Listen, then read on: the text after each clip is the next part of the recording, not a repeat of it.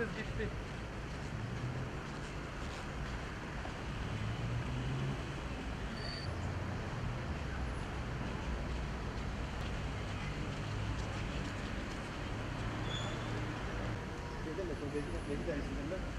Tamam. Ahmet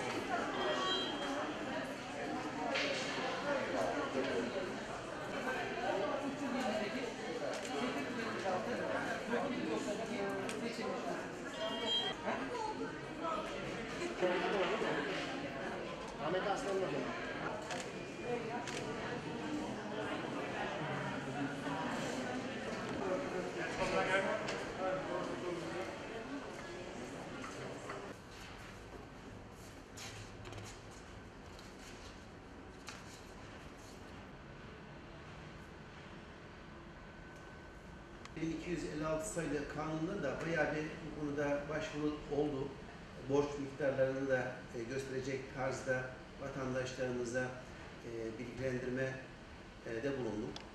Yeni bir imkan oluşturduğu için vatandaşlarımızın yoğun bir talebini beklemekteyiz. Hem dediğim gibi teşvikten yararlanmış Evet, oluyor evet, evet. hem de Evet. gecikme zamanı indirimli ödeyerek bir zaman kazanmış oluyor. Evet, 7326 sayılı kanunla yeniden yapılandırma yürürlüğe girdi. Ee, bu kapsamda birçok borçların yapılandırması söz konusu olduğu gibi kurumumuz alacaklarının da yapılandırması söz konusu. 2021 Nisan ayı öncesi itibariyle kurumumuza borcu bulunan işveren ve sigortalarımızın sigorta primi, işsizlik sigortası primi, idare para cezası, yersiz aylıklardan kaynaklanan rucu alacakları, hakeza isteğe bağlı ek 5, ek 6, ek 9 sigortalıklardan kaynaklanan prim borçları bu kapsamda yapılanmak e, içerisinde yer almaktadır. Başvurularımız yoğun bir şekilde e, sigortalar ve işverenlerimiz tarafından yapılmaktadır. Artık son günlere yaklaşıyoruz. 31 Ağustos 2021 e, Salı günü itibariyle başvurular sona erecek. Bu kapsamda da işveren ve sigortalarımızın bu yapılandırmayı e, kaçırmadan başvurularını bir an önce yapmalarını istiyoruz. Başvurularını nasıl yapacaklar? Sigortalarımız, bağ kurullarımız e-devlet üzerinden başvurularını elektronik ortamda yapabildikleri gibi işverenlerimiz e-sigorta üzerinden e, müracaatlarını yapabilecektir. Yok eğer biz e-devlet üzerinden veya e-sigorta üzerinden yapmak istemiyoruz derler ise işverenlerimizin veya sigortalarımızın doğrudan herhangi bir sosyal güvenlik merkezimize bizzat gelerek e, dilekçelerini, başvurularını imzalayarak başvuruda bul- bulunabilecekler.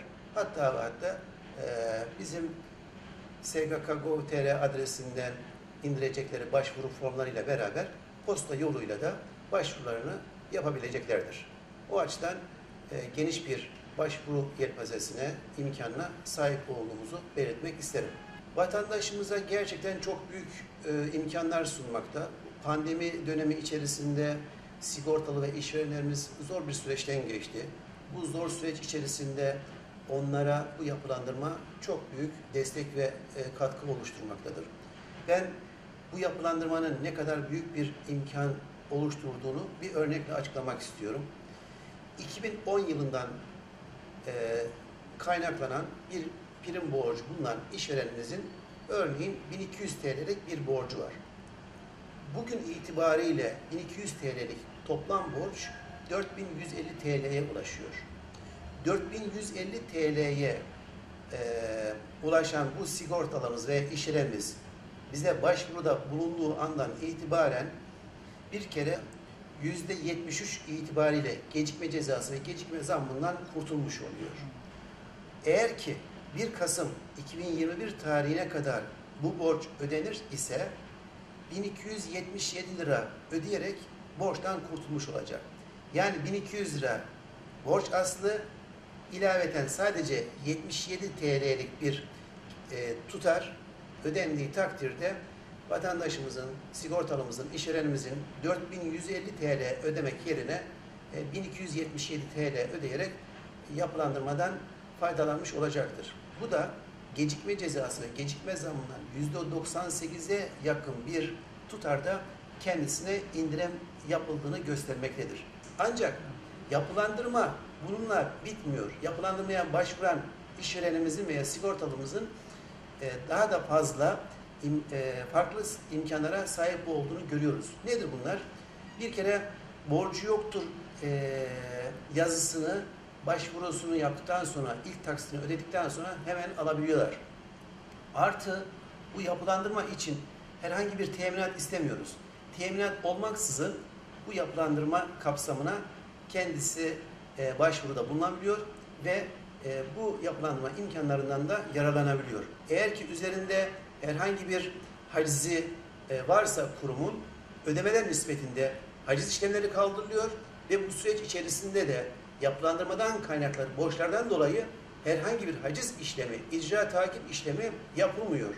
İşverenlerimiz açısından, sigortalarımız açısından önemli bir yer tutan prim teşviklerinden de yapılandırmaya başvuran kişiler yararlanmaya başlıyorlar ve hem maliyet azaltıcı hem de geçmişteki borçlarını temizleme açısından son derece e, büyük imkanlara sahip olabiliyorlar. Yapılandırma e, imkanlarından tüm vatandaşlarımızın, sigortalı ve işverenlerimizin, kurumumuza borcu olan e, kişilerin e, 31 Ağustos 2021 Salı gününe kadar E-Devlet üzerinden, E-Sigorta üzerinden yahut sosyal güvenlik merkezlerimize bizzat gelerek başvuruda bulunmalarını istiyoruz. Bu imkan her zaman fırsat ele geçmez. Bu fırsatı, bu imkanı kaçırmasınlar diyoruz ve onları 31 Ağustos 2021 tarihine kadar başvuruda bulunmaları için bekliyoruz.